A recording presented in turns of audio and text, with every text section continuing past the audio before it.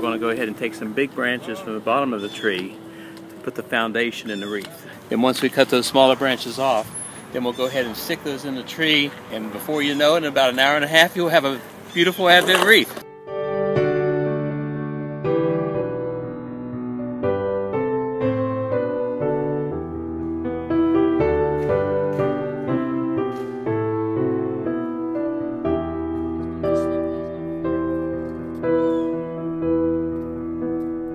Deacon, how, how are the candles going to be lit on this huge Advent wreath? Well, I tell you what, we used to light the candles, but because of the fire codes and everything else, we won't light the candles.